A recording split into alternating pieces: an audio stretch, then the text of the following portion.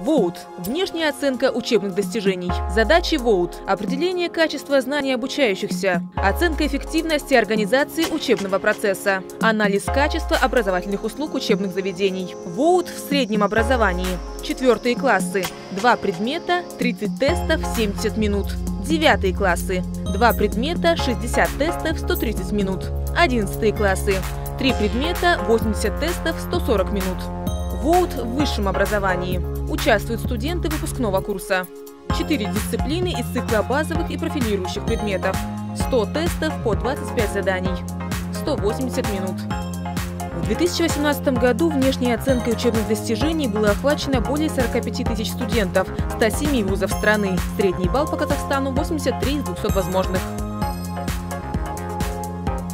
Итоги ВУЗ послужат ранжированием рейтинга школ и вузов. Подписывайтесь на страницу Министерства образования и науки Республики Казахстан в социальных сетях и ставьте лайки.